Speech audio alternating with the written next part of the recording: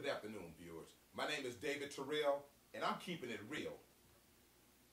Why am I the victim but telling a friend that they got stanky breath? I can't believe this is getting way out of control.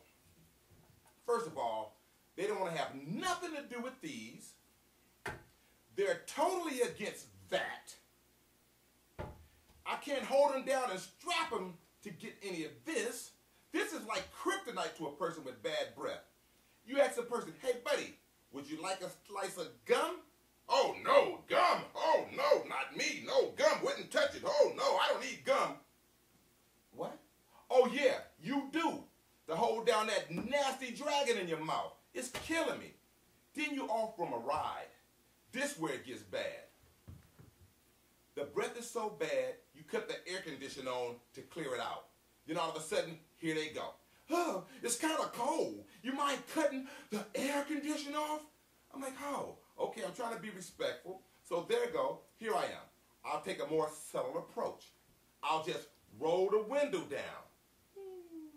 Oh, that's a problem. Whoa, the wind is blowing too hard. Can you can you raise the window up?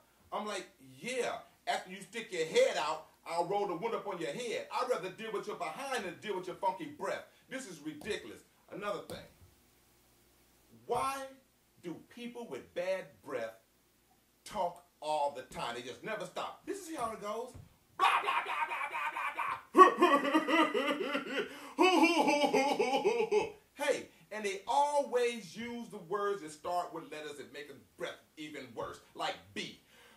B for bad breath, or H for halitosis, or mm, and I got a word for that, muzzle. Smell like you've been eating a Badfoot wildebeest sandwiches. Shut up.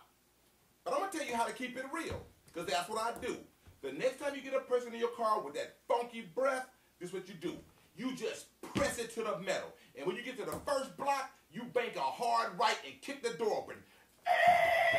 Kick the door open, let them go. Straighten it up. Mm.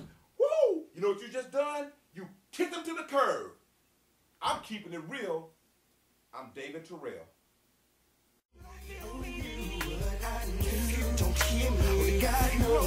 I'm going and what I've been through. Yeah.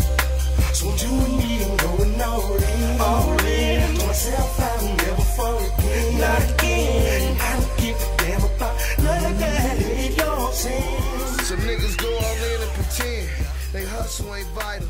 Talking about their money like they interested.